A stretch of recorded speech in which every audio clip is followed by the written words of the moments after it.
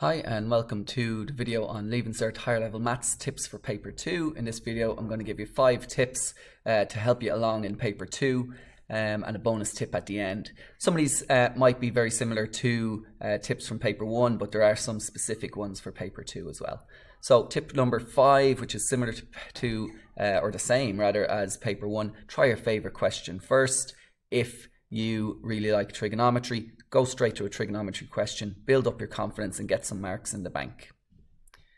Tip number four, stick to your timing and move on if you need to. So like I said in the video for paper one, if you're doing 13 minutes for each question for section A and 23 minutes for each question in section B, stick to it. If you get towards the end of a question, move on and come back to it at the end. Tip 3 be an expert with your log tables and your calculator, especially so in paper 2 for your log tables, all your trigonometry and your coordinate geometry. You need to know where those formulas are and be able to get them quick, quickly. And for your calculator, make sure you know how to change it from radians to degrees and degrees to radians and use it in the correct context each time.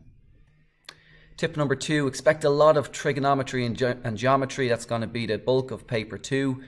And if you're in a, doing a question, you don't know what to do, solve for an unknown side or solve for an unknown angle, and that might just give you the start that you need to move on through the question.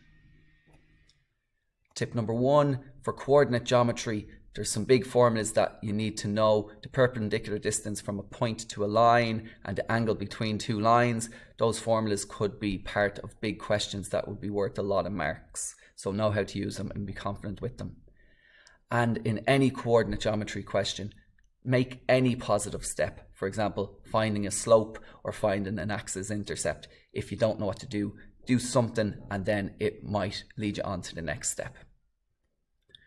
Bonus tip for paper two, expect an unexpected topic. So don't rely on only your traditional paper two topics. They might put something in that would traditionally be on paper one. They have done that a couple of times recently. So expect an unexpected topic for paper two.